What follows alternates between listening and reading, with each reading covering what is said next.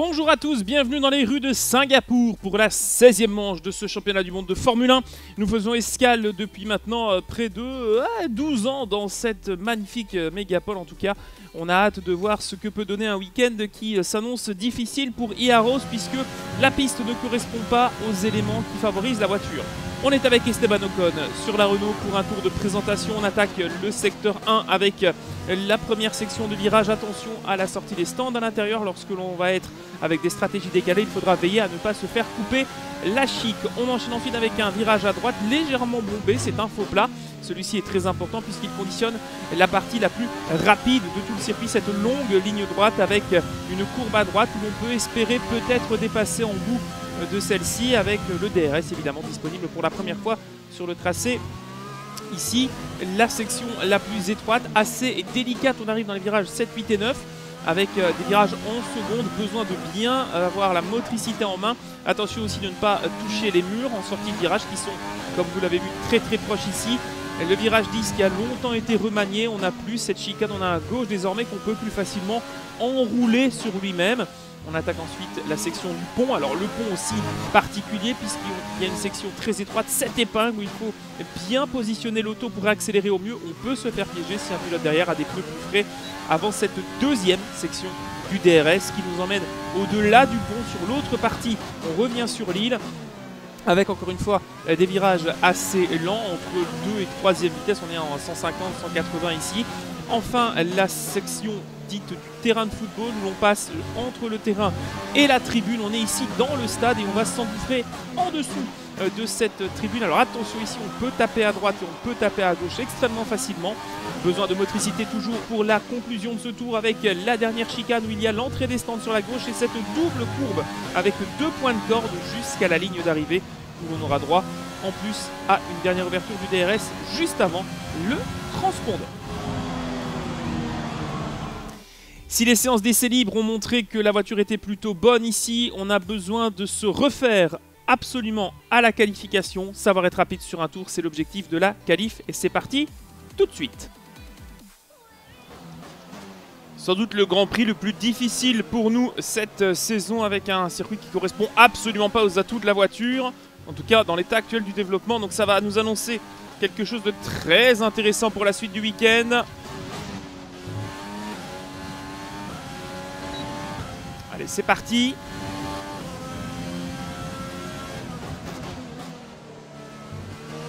Essaie d'avoir un rythme soutenu et logique. Voiture qui euh, a beaucoup d'appui puisqu'on attend des gouttes d'eau pour la suite du week-end. Mais je ne sais pas à quel niveau et à quelle intensité. Ça se trouve, on pourra partir en pneu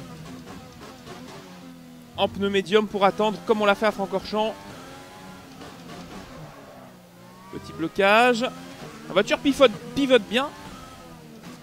Plutôt content pour l'instant de son comportement avec des tendres. C'est souvent avec les médiums hein, qu'on a euh, une voiture plus euh, sympathique à piloter.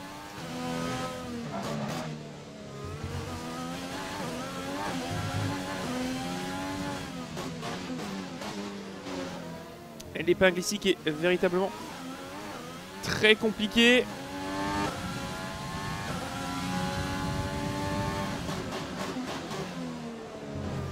On s'en sort bien. Hein. Très content pour l'instant de la voiture et de son comportement, même surpris. C'est vrai qu'avec les différences de météo entre euh, le L1 et le reste du week-end, difficile de préparer une voiture pour Singapour.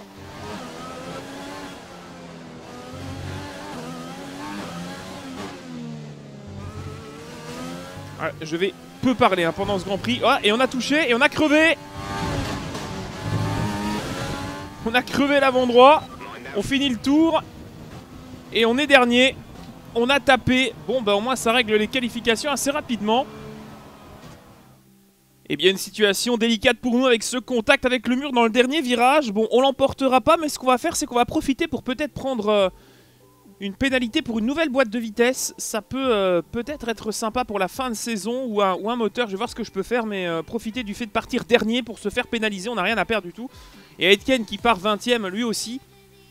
Donc sincèrement, entre les Williams et les Alpha, euh, difficile de voir autre chose que, peut-être un top 15 pour, pour dimanche. Et c'est au milieu du paysage urbain de Singapour qu'une nouvelle course de Formule 1 va commencer. Cette étape du calendrier est redoutable pour les pilotes qui doivent supporter dans leur cockpit des températures semblables à celles d'un sauna. Ce Grand Prix relève quasiment de l'endurance et représente à l'unanimité des pilotes le défi physique ultime de la saison. Les pilotes ont 23 virages à maîtriser tout au long des 5 km 7 du circuit bosselé de Marina Bay. On y trouve deux zones de DRS, l'une sur la ligne droite des stands, l'autre sur Raffles Boulevard qui offre des pointes de vitesse à près de 300 km/h juste avant la zone de freinage du virage numéro 7. Le passage étroit de l'Anderson Bridge risque de jouer des tours aux pilotes, tout comme l'humidité permanente ici. Je me demande quelles stratégies ont été adoptées par les écuries aujourd'hui. Le milieu de peloton va-t-il tenter un arrêt au stand tôt dans la course pour tenter de perturber les leaders? Vous savez, en milieu de peloton, il faut d'abord penser à sa propre course. Et je ne pense pas qu'ils aient prévu d'essayer de mettre la pression au top team. Par contre, je ne serais pas étonné de voir des stratégies doubles. Si vos pilotes sont en deuxième et troisième position, par exemple, il est possible de faire rentrer une monoplace pour tenter un undercut et laisser l'autre poursuivre le leader pour le pousser à l'erreur. Avant de commencer, jetons un coup d'œil à la composition de la grille de départ de la course du jour. Lewis Hamilton part en pole position et Valtteri Bottas complète la première ligne. Et pour le reste de la grille, nous retrouvons Verstappen, Vettel, Alexander Albon et Ricardo, Perez, Fiat, Norris et Pierre Gasly, Ocon, Sainz, Charles Leclerc et Stroll, Magnussen, Grosjean, Kimi Raikkonen et George Russell, Giovinazzi, Aitken, Latifi et le rookie L'extinction des feux ne devrait plus tarder, il est donc temps de nous diriger vers la piste.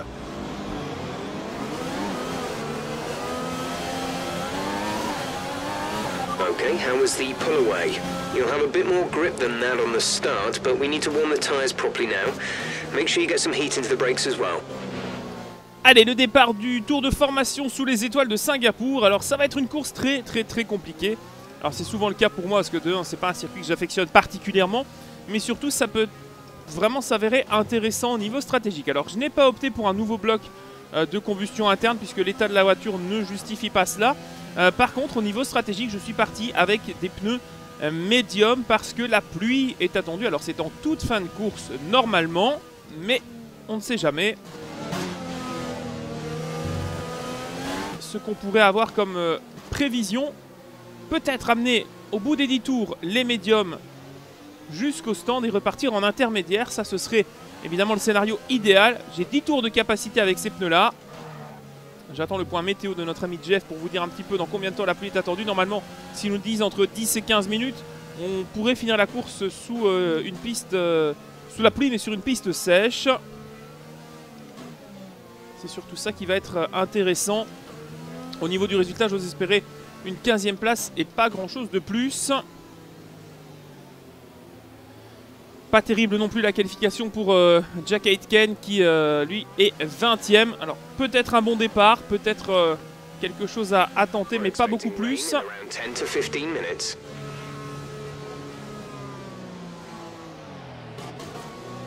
Ok. Pluie dans 10 à 15 minutes. C'est pas bon signe.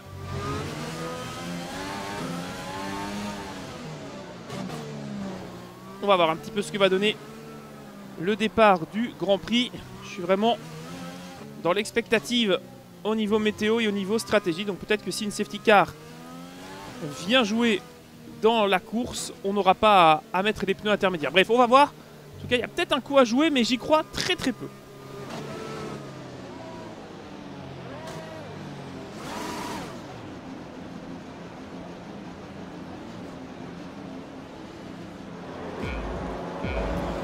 La procédure de départ de ce Grand Prix de Singapour.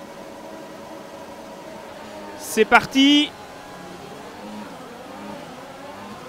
Très bon départ, on parvient à trouver la motricité, on se met à l'intérieur par rapport à Jack Aitken. Oh, les deux As, on va laisser passer parce que là, c'était chaud. On assiste sur la Williams, qu'on emmène un peu à l'extérieur, c'est pas grave. Bon envol pour nous. Aitken qui est resté bloqué 22e et dernier. Les deux as côte à côte alors qu'on attaque pour la première fois la grande section rapide.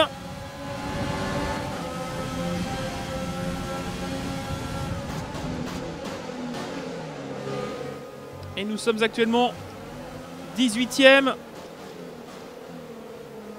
Est-ce qu'on peut attaquer Romain? On passe. Petit contact à l'arrière pour nous, mais rien de bien grave par rapport aux Français. Et on sait depuis quelques jours maintenant quittera la Formule 1 et As. Tout comme Magnussen, mais on doit encore le doubler lui.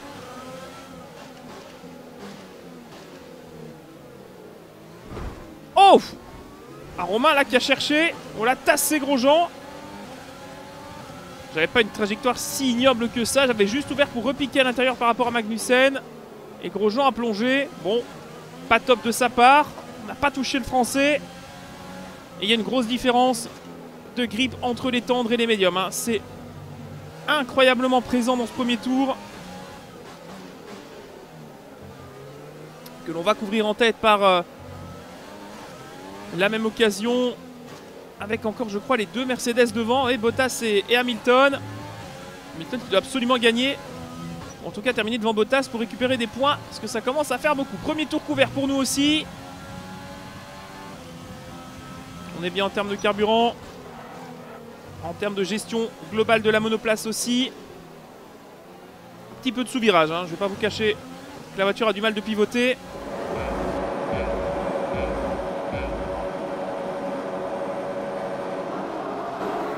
Encore de DRS bien sûr. Il faudra attendre le troisième tour. Derrière, Russell est au ralenti. Il est assez loin. 2 hein. secondes 7. C'est énorme après à peine un tour et demi.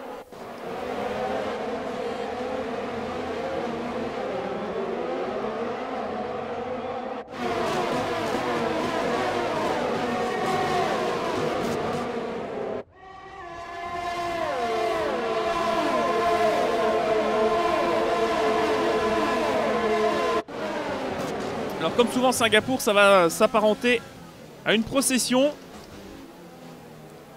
pendant laquelle je ne vais que peu parler.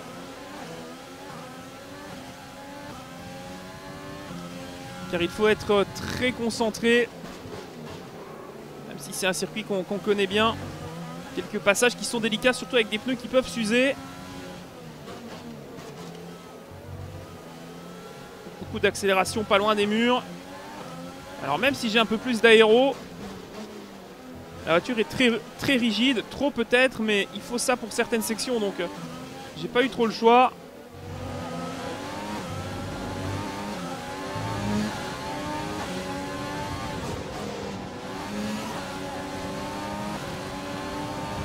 DRS is being enabled this lap. We can use DRS when you are within one second of the car ahead and in the DRS zone.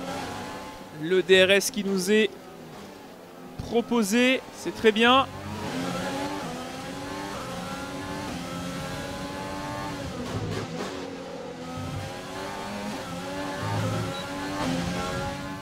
On l'utilise pour rester au contact de Magnussen. Attention au frein, ça a chauffé effectivement. Commence à bloquer un petit peu les roues.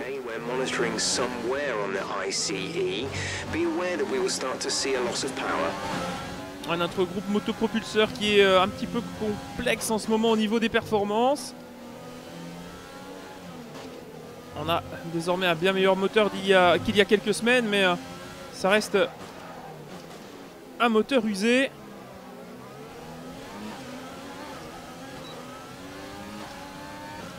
entre le RS et le DRS, il faut pousser sur pas mal de boutons.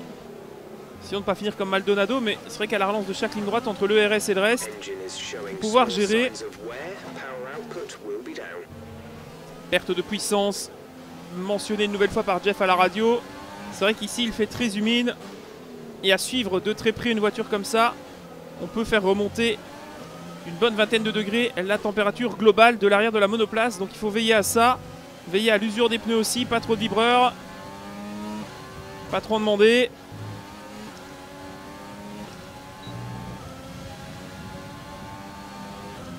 Parce que chez euh, Mercedes, on ne se pose pas les mêmes questions devant. Tout tourne parfaitement bien. Et on nous rappelle la pluie pour dans 10 à 15 minutes.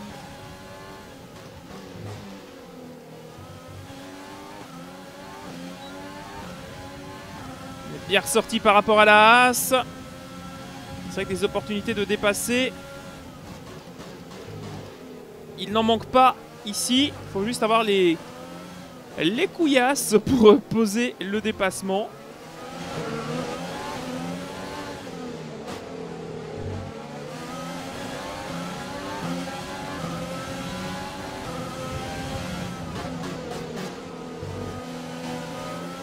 Là, on a un beau peloton hein, devant.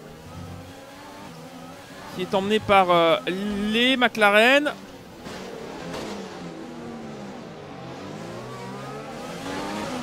J'ai touché, mais j'ai pas abîmé l'auto. Je voulais vraiment euh, jeter un coup d'œil à ça.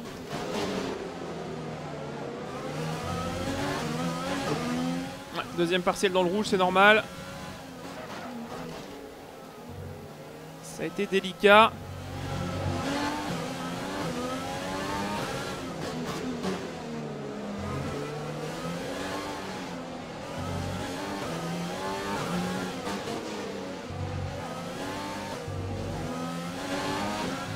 Allez, quatrième tour couvert. Et déjà des arrêts pour les voitures en pneus tendres.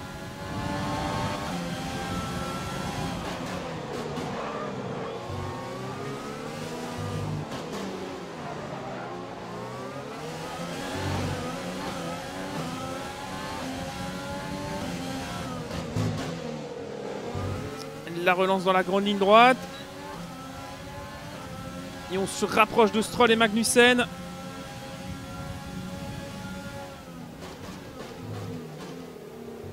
Ah, Vraiment très très proche du Danois.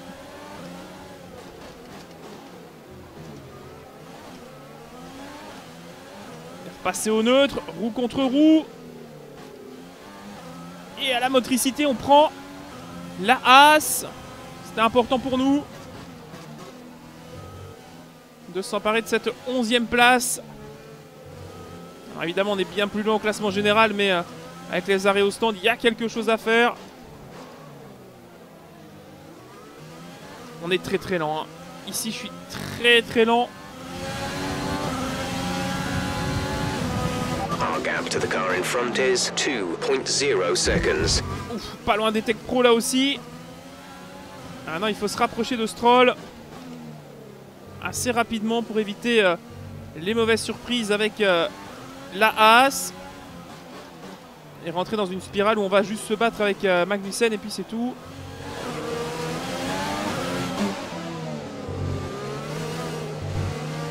Flinguer le RS, même pas fait attention, encore des arrêts. Pour pas mal de monoplaces, une Racing Point notamment, une Ferrari, il y a du monde à l'entrée des stands, on va se retrouver quasiment en tête. Effectivement, on est cinquième. Retour de Hitken dans la pit lane, au moins on ne gênera pas Jack.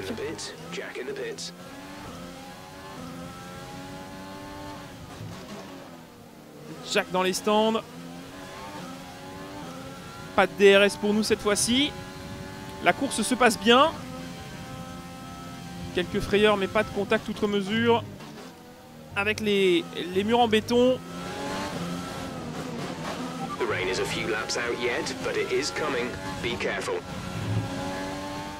La pluie est là dans quelques tours. On me demande d'être vigilant. 35% d'usure sur les gommes arrière. Alors une belle coupure de plusieurs tours. Vous n'avez rien manqué si ce n'est l'arrêt au stand de la Racing Point qui était euh, devant nous et le retour de Sébastien Vettel qui avec des médiums plus frais va évidemment euh, beaucoup plus vite que nous. J'ai rechargé de manière un peu plus intéressante mon ERS. On était euh, à 20% à peu près quand on s'est quitté il y a quelques secondes. Là on est remonté à 70. Donc on va pouvoir de nouveau charger la monoplace. Pour l'instant pas d'abandon dans ce Grand Prix. C'est vrai que là si j'avais l'opportunité d'une safety car, je la prendrais.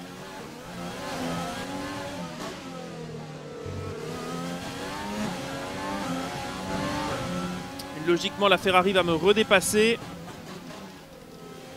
Voiture qui est malgré tout un peu meilleure que la nôtre. Et surtout, une voiture qui a des gommes beaucoup plus fraîches.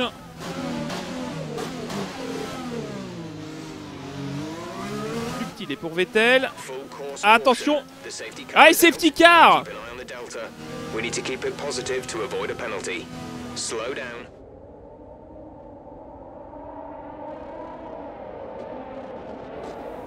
Alors là, c'est parfait ce qui est en train de se passer. 2-1, c'est Pierre Gasly qui abandonne pour notre euh, rivalité qu'on a gagnée. C'était très bien. Maintenant, c'est avec Sainz qu'on doit se battre. Mais surtout, on va rentrer sous safety car. Donc c'est un arrêt gratuit.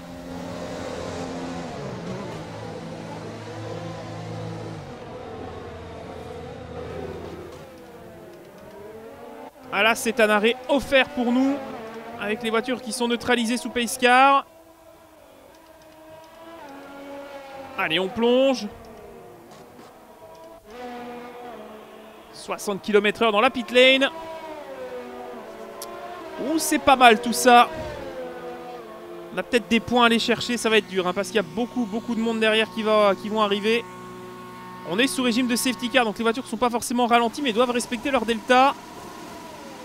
Complete, go now. Allez, on va repartir quand même assez loin malgré tout. Ouais, ouais, ouais, ouais. On va partir loin. Ouf, ouais. Et on est de nouveau derrière Grosjean.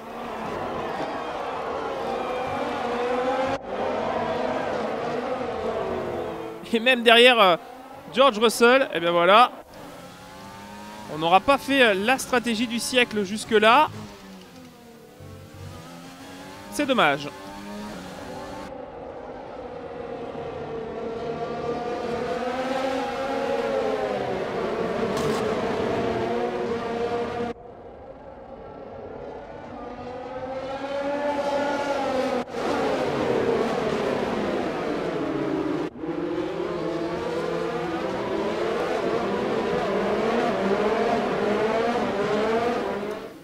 Mesdames, messieurs, il pleut dans le 11e tour de course ici à Singapour.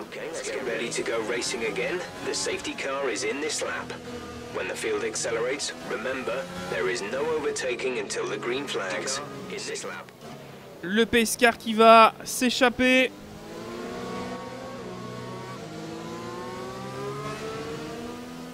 À la fin de ce 11e tour, mais la pluie est là, alors va-t-on rentrer pour des intermédiaires à un tour près? Est-ce que ça vaut le coup? De tenter quelque chose Ça glisse pas encore assez, hein. Il ne glisse pas encore assez. Ah, le call pour la pluie pourrait être très très intéressant.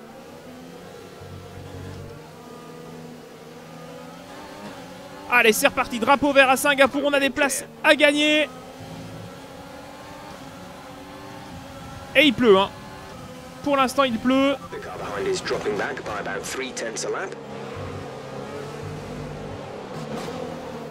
Allez, la Williams, ça doit être facile en pneus tendres neufs. Même s'il pleut, on n'aura pas l'avantage des pneus. hein. C'est sûr que là, c'est un peu compliqué. Pas de DRS non plus. Avant l'avant-dernier tour.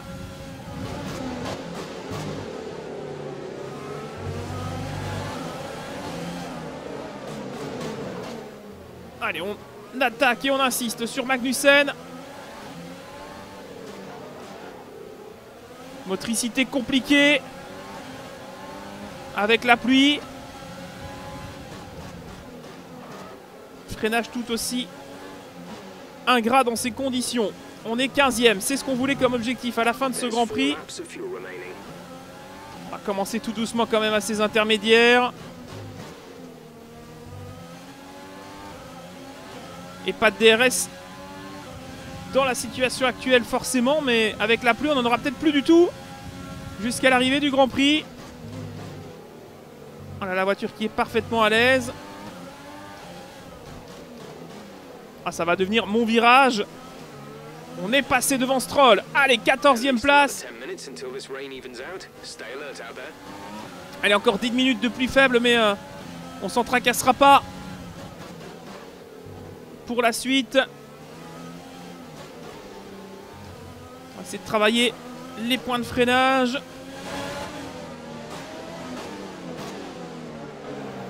Et le reste. La motricité, on l'a.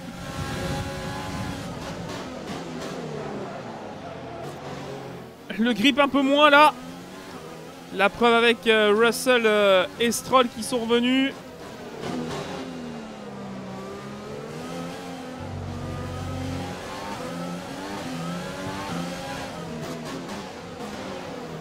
Alors c'est pilotable parfaitement, mais on perd du temps, mais tout le monde est logé à la même enseigne. Qui va oser rentrer, monter des intermédiaires si personne ne rentre?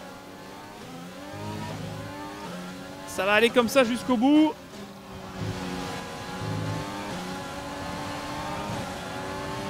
Okay, the stewards have now enabled DRS. DRS is now online. Allez, DRS activé. On n'est pas loin de Raikkonen qui nous euh, oppose résistance depuis tout à l'heure. Ça va être bon niveau carburant. Ça va être bon pour tout. Sauf peut-être au niveau de l'adhérence. Ah, ils vont faire rentrer des gens peut-être pour des intermédiaires avant le dernier tour. Oh, ça peut être un pari exceptionnel si on reste dehors et que tout le monde rentre. On va peut-être se faire arrêter net, mais bon. Est-ce qu'on a quelque chose à perdre pour l'instant? C'est zéro pointé. Moi, je ferais bien le dernier tour avec ces pneus slick. C'est très compliqué à entrevoir quand même. hein. C'est très compliqué à entrevoir.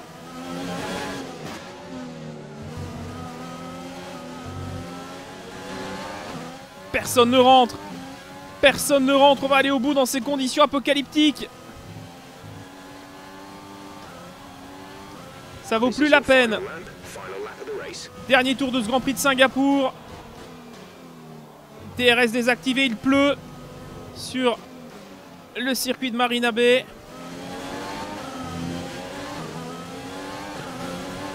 Je désespère pas d'avoir mon DRS sur euh, sur euh, Kimi. Non. Ouf. Là c'est compliqué. Là c'est compliqué. Okay, the stewards have now disabled DRS. DRS is now disabled. DRS désactivé pour tout le monde. On va finir à l'agonie. Mais on va finir avec une 14e place. Ça contentera peut-être certains sponsors, mais c'est compliqué, vraiment compliqué de tenir la voiture. euh. Là, il faut des intermédiaires. hein. Clairement, ce tour-ci, là. On aurait pu en mettre il y a deux tours, mais on serait reparti beaucoup trop loin. Ouf, bah voilà. Quand je vous dis que ça glisse, c'est que ça tape aussi. Oh là là, on a la Racing Point qui est derrière. On n'a plus du tout de motricité. C'est tellement compliqué. Oh, il nous pousse, Stroll Oh là là Stroll qui nous met quasiment dans le mur. Les feux d'artifice qui euh, soulignent la nouvelle victoire de Valtteri Bottas. Quant à nous, on est arrêté. Ah oui, on n'est pas l'IA, nous. On n'a pas un rail pour rouler. On doit tenir la monoplace. Il va rester une grosse accélération qu'il faudra gérer. Avec à nos trousses la Racing Point. J'ai pas, pas du tout de motricité. Oh, elle s'ouvre. Oh non, non, non, non, non, allez Oh, sur la ligne Ouf Ah, j'ai cru qu'il allait passer. Quel finish dantesque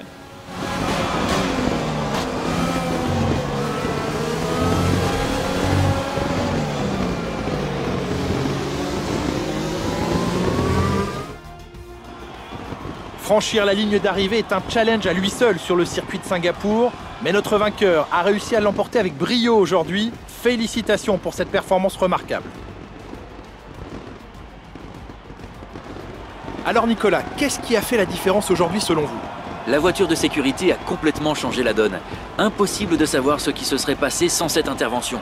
Mais il est clair qu'ils ont très bien géré la situation.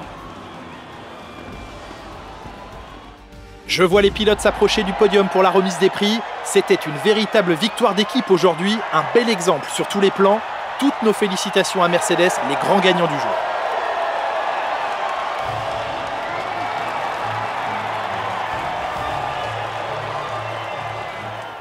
Les résultats de ce Grand Prix de Singapour avec la victoire et le meilleur tour pour Bottas qui devient potentiellement euh, titrable hein, quand même. Ça devient impressionnant par rapport à Hamilton qui reste malgré tout pas loin.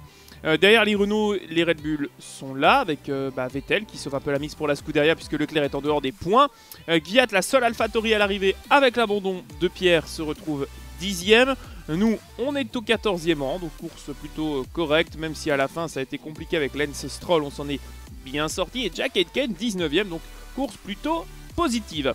Au classement général, aucun changement si ce n'est eh bien Perez qui prend la 10e position. Ça joue euh, très serré hein, entre la 12 et la 8e position. Après, il y a un gros gap avec Ricardo, mais c'est intéressant. Et au niveau constructeur, eh bien, quelques changements. Renault repasse devant McLaren et AlphaTauri devant nous et Alpha. C'était déjà le cas. Je sais pas pourquoi ils ont repris 37 points, parce qu'ils étaient déjà devant après Monza. Au niveau de l'équipe, on a un nouveau sponsor, Opac. Euh, il faut se qualifier 15e. Donc on fera attention aux résultats en qualification, mais on va essayer d'accéder à la Q2 puisque la voiture devrait logiquement obtenir des nouveautés et de RD. Alors une chose que je ne vous ai pas montré non plus beaucoup depuis l'organisation de l'équipe sont les finances et l'historique des finances. Donc pour l'instant on a eu un gros trou au mois d'août avec la trêve, mais on a fait pas mal d'améliorations. Au niveau du véhicule, on a quand même pas mal de stock en termes de, composants. Et au niveau de la RD, ben, on a quand même 1500 points. Euh, alors, on travaille pour l'instant dans quasiment tous les départements. On va relancer le châssis. Alors ici, j'ai 1100 points, mais j'en ai une à 600. Donc je vais euh, lancer celle-ci à 625. Et au niveau de la longévité, est-ce que j'ai encore de quoi faire évoluer quelque chose de moins cher? Oui, j'ai une possibilité. Niveau moteur, on est à fond. Et niveau aéro, on n'a pas la possibilité. Donc ce qu'on va faire, c'est qu'on va lancer celle-ci qui est à 600 et on va essayer d'améliorer malgré les, pourcentages d'échecs possibles. On aura donc de nouvelles pièces pour débuter à Sochi. On reste toujours derrière Alpha, alors qu'on a de bons résultats. Ça, je comprends pas en termes de, de R&D, en tout cas de progression. Donc on a bien évolué au niveau moteur. On a encore une amélioration en cours dans chaque domaine. Donc ça, c'est vraiment bien au niveau de la R&D.